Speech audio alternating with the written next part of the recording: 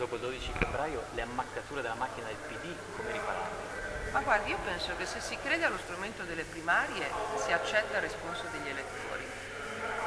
Quando si va davanti agli elettori si chiede quale può essere il miglior candidato sindaco, se gli elettori si esprimono per un sindaco che non è del PD, evidentemente è stata individuata una personalità che è quella che risponde oggi meglio a Genova. Francamente a questo punto il PD dovrà interrogarsi se era il caso di andare con due candidature, sindaco in carica diciamo, non è stato riconfermato, quindi qualche problema fra l'amministrazione e il sindaco evidentemente, fra la città e il sindaco evidentemente c'era.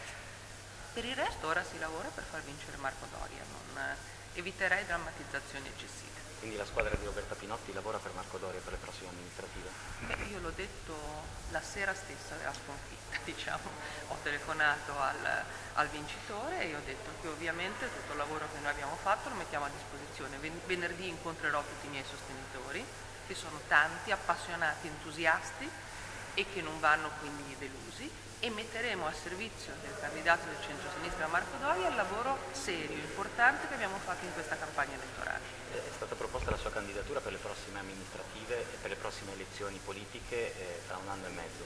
Eh, preferisce, preferisce, in caso di eh, si presentasse per le politiche, preferirebbe una legge attuale, la legge attuale oppure una verifica della legge elettorale?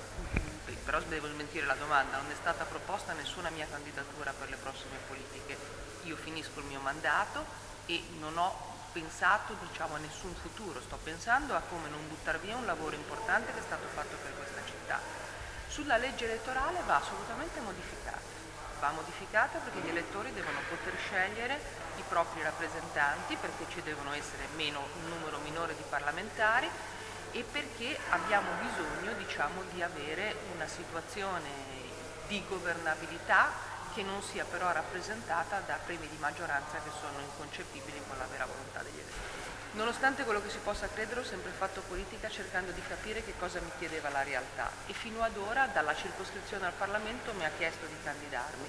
Adesso mi sono candidata a sindaco, non ho vinto, non nego l'amarezza perché mi ero candidata con le migliori intenzioni, però non ho fatto nulla di male, ho fatto delle cose buone, ho fatto una bella campagna elettorale, ho tante belle persone intorno. Vado avanti e poi adesso diciamo, ho un po' più tempo per le mie figlie perché la campagna elettorale è stata abbastanza dura, quindi insieme alla politica ci metto un po' di famiglia.